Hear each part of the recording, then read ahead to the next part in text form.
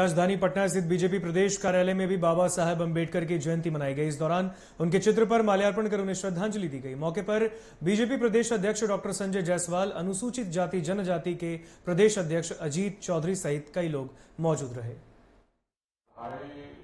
आज तीसरी बाबा साहब जी की जयंती है और इसलिए हम लोगों ने आज तो बहुत पहले वृहद तैयारी थी पर वो सभी को समाप्त करके अपने अपने जिलों में जो यहाँ पे लोग उपस्थित हैं उन्हीं के साथ हमने मनाया।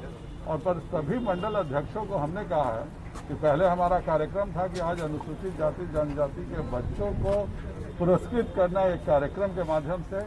उसके बदले हमने उनको कहा कि अगले एक हफ़्ते तक वह उन बच्चों के घर जाए और उनके घरों पे जाकर उनको पुरस्कृत पटना स्थित आरजेडी प्रदेश कार्यालय में भी अंबेडकर जयंती समारोह का आयोजन किया गया। इस मौके पर पार्टी के वरिष्ठ नेता अब्दुल बारी सिद्दीकी श्याम रजक समेत कई कार्यकर्ता मौजूद रहे। जयंती समारोह में उपस्थित नेताओं ने कहा कि आज़ादी के बाद जिस संविधान ने वास्तव में हमें स्वतंत्रता के मायनों से परिचित कराया उसकी आधारशिला रखने का श्रेय डॉक्टर भीमराव अंबेडकर को जाता है। वहीं कोरोना के कारण नेता सोशल डिस्टेंसिंग का पालन करते भी नज़र आए।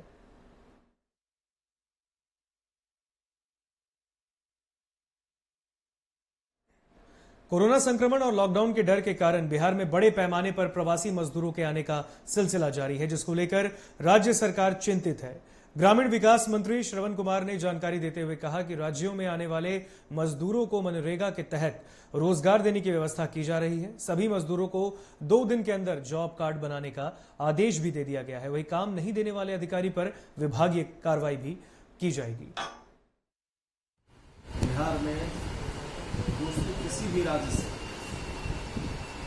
जो भी श्रमिक आएँगे उनको मनरेगा के तहत अगर वो काम चाहेंगे, काम मांगेंगे तो उनको उनके ग्राम पंचायत में या उनके गाँव में उनको काम मुहैया कराया जाएगा और अगर उनके पास जॉब कार्ड नहीं होगा तो दो दिन के अंदर